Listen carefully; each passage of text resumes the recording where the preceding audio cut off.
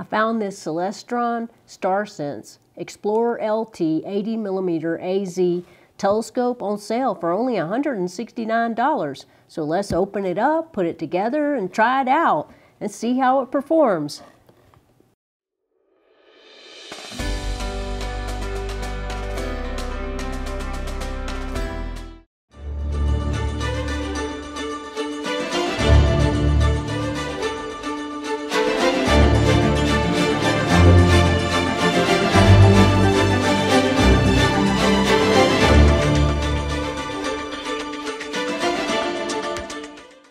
Pretty easy to set up. It came with written instructions on how to assemble it. And it came with an Amici erect image diagonal. And it came with the Celestron 10 millimeter eyepiece, a Celestron 25 millimeter eyepiece, and a Celestron 2 time Barlow. And it came with a red dot finder, and it came with the StarSense. The StarSense is how we're going to guide the telescope with my phone and I have to first download the StarSense app to my phone and then put in this code that it came with and then we'll do that after it gets dark and it's clear and try that out. And unfortunately it's cloudy tonight so we can't try it out tonight but tomorrow we'll try it out the first thing you have to do when you get a new telescope is you have to line up the finder scope with the telescope and you do that during the day. But first, this telescope came with a red dot finder which runs off of a CR2032 battery and they ship it with a piece of plastic right here to prevent the battery from discharging. So just pull that piece of plastic out and then we'll go outside and line up the red dot finder with the telescope. First, make sure these silver screws that attach the red dot finder to the telescope are nice and snug because you don't want this moving once you get it aligned with the telescope. Next, turn this knob until you hear a click and that turns the red dot on. And then you use this knob to move it left and right and this knob to go up and down to adjust it to line it up with the telescope. So let's go outside and do that. Now we're ready to line up the red dot finder with the telescope. Use your lowest magnification eyepiece, in this case 25 millimeters, and get your object in the red dot finder. Get that red dot where it's pointed at whatever you've chosen. I'm choosing the peak of the roof of that cabin a mile or so away. And when the red dot is pointed at that, and it's not projecting, it's just reflecting a red dot back to your eye to show you where it's pointed. Then go to your eyepiece and using your azimuth and altitude adjustments, get that in the center of your eyepiece. And when it's in the center of your eyepiece, lock down those two knobs because you don't want the telescope moving. Then go back to your red dot finder and at that point you'll need to use the up and down and left and right knobs until you have the red dot directly on the top of the peak of the roof or whatever your chosen object is. And then go back to the eyepiece to make sure nothing moved and make sure the object is still in the center of the eyepiece. If it isn't, get it back in there. And then go back to the red dot. And when they're both precisely on that object in the center of the eyepiece and the red dot is pointed directly at that, then you're all lined up. Now I'm going to look at the waning crescent moon. I have not put the StarSense in yet. I did download it to my phone and we'll use that this evening. But right now I'm just going to use the red dot finder to get the waning crescent moon in here. Very pretty when it's at this phase, but it's very thin. And I can't make out much detail in it, but very pretty. But let's see if increasing the magnification helps. This 25 millimeter eyepiece gives me 36 times magnification. And we can try this 10 millimeter, which will give me 90 times magnification. And don't forget to refocus when you put a different eyepiece in.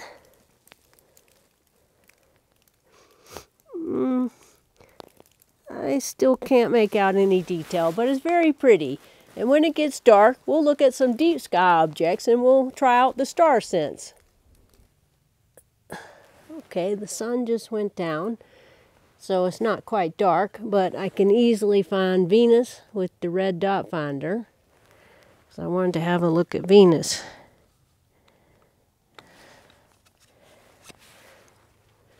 First with 36 times magnification.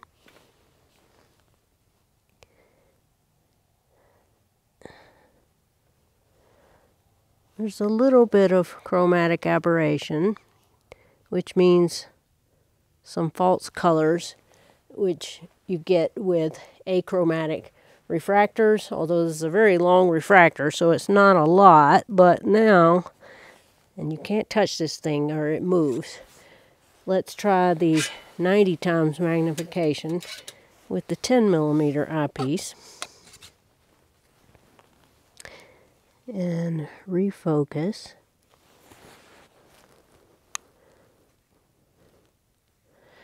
And now there is a lot of chromatic aberration. But that's what you get with an achromat. In a refractor at this price point, it's to be expected, but I just wanted to check it out. And what a beautiful sunset.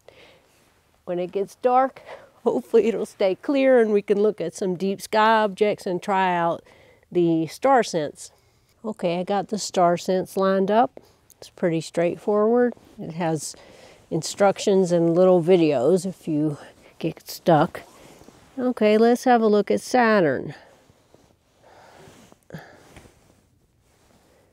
So loosen the azimuth and just follow these arrows.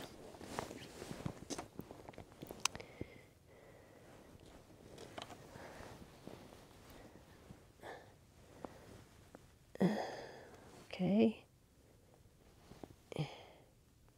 All right. Should be in there. Let's have a look. All right. Okay, it's in there. It's tiny. So let's magnify because you want to magnify the planets as much as possible. Let's take the 25 millimeter eyepiece out and try the 10 millimeter, which is still only 90 times magnification, which is not much, but that's all the eyepieces they give you. I mean, it's an 80 millimeter refractor, so it's tiny. But let's go back to the 36 time magnification and look at an object that doesn't require a lot of magnification. Let's try M2. It's a globular cluster in Aquarius, which is not that far away.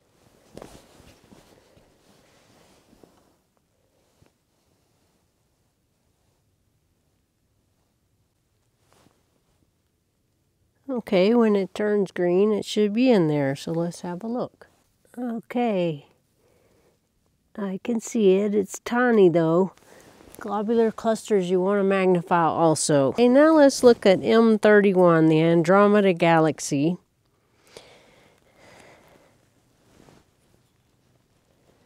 I'm just facing that way.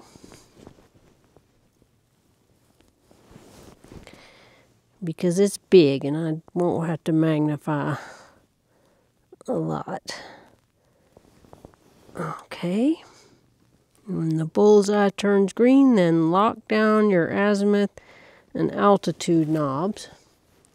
And then try not to touch it because this thing is not very stable. Okay, yeah, there it is. Beautiful. Nice. Very nice. Okay, I know something that's perfect for a little 80 millimeter refractor, and that's the double cluster in Perseus, which is an NGC object. It's actually two objects, and one of them is NGC 869. So let's put that in and have a look at that.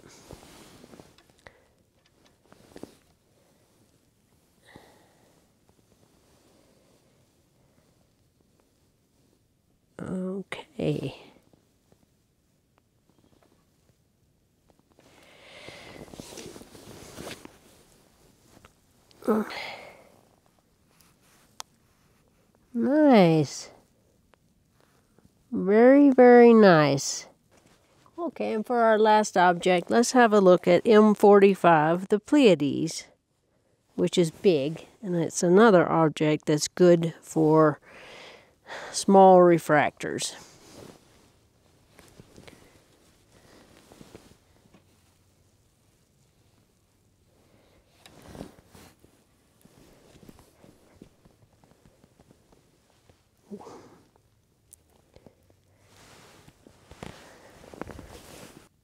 Okay, very nice, but it's very hard to get this thing to stay still and you can't touch it. But the optics are nice, very pretty. For around $200, you get a lot with the Celestron StarSense Explorer LT80AZ. You get two eyepieces, a diagonal, decent 80 millimeter refractor, a red dot finder, a mount, and a tripod. And you get the StarSense dock. I applaud Celestron for coming up with this great technology allowing you to easily locate objects in the night sky, just using the dock and your own smartphone. The optics were not bad at all. There was some chromatic aberration, but that was to be expected for an achromatic refractor, and it wasn't too bad. Mostly the view through the telescope was decent, especially for such a low-priced instrument.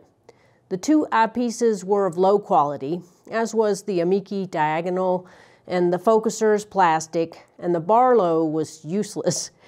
All those things were to be expected on such a low-priced telescope. But I wish Celestron had made the mount a little sturdier. It constantly moved and wobbled if I dared touch it, which is unavoidable at times. And I'd be afraid to take this out if it had been windy. And unfortunately, the way the telescope is designed, you can't just put it on something more stable because the telescope doesn't have rings or a dovetail. So it's limited to being mounted on a yoke mount like this.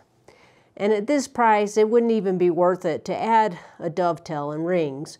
So for the price, it's a decent enough telescope for a beginner.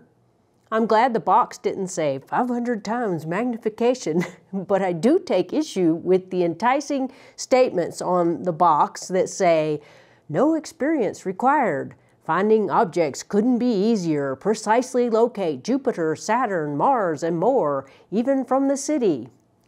I don't think that's true. Those are probably the only things you'll see from the city with such a small telescope and no knowledge about the night sky. Yes, the StarSense helps you locate objects with your phone, but you do need some experience to know what to look for if you want to see anything other than the moon and the planets. Yes, I could see M2 in this telescope, but I know what to look for, and I'm very experienced, and I live in a rural area with dark skies. I didn't use this telescope in the city, but I would think it would be challenging. So it's an okay telescope, but I think the StarSense gives people a false impression of what the telescope is capable of. It would probably be better if the telescope didn't come with the StarSense, so that someone who is interested in becoming an amateur astronomer would take the time to learn the night sky and have a deeper connection to the universe. If this is all you can afford and you're trying to desperately keep your budget around $200, then this would be a good telescope to start out with.